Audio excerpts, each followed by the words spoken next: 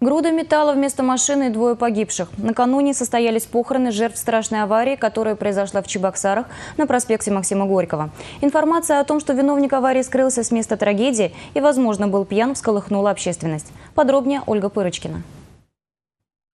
Эти кадры зафиксировали камеры видеонаблюдения на проспекте Максима Горького. Иномарка на огромной скорости сзади сталкивается с ВАЗ-2114. Проезжавшие мимо водители тут же поспешили на помощь. По кадрам видно, никто из очевидцев не проигнорировал ситуацию. Однако пока свидетели ДТП переворачивали машину и вызывали скорую, виновник аварии, судя по всему, решил, что справится и без него.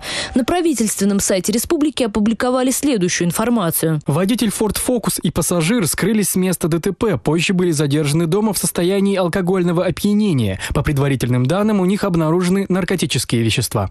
Водители иномарки правоохранители задержали в ходе оперативно-розыскных мероприятий. Между тем, интернет-общественность города провела свое расследование. В одной из социальных сетей блогеры разыскали страничку предполагаемого виновника и были шокированы опубликованным статусом. Неважно, сколько человек ты убил. Главное, как ты уживаешься с теми, кто еще жив.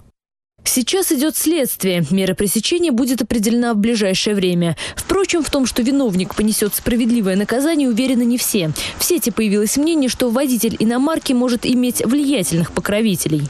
Связи родителей. Не удивлюсь, что скоро окажется, что асфальт подпрыгнул под Фордом, и тот потерял управление.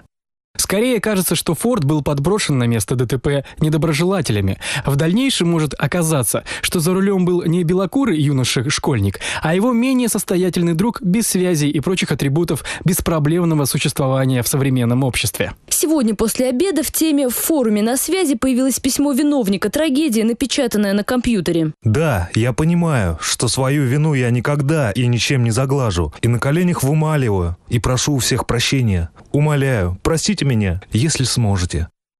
Так или иначе, определять наказание будет суд. За такое преступление виновнику может грозить до 9 лет тюрьмы. Ольга Пырочкина, Республика.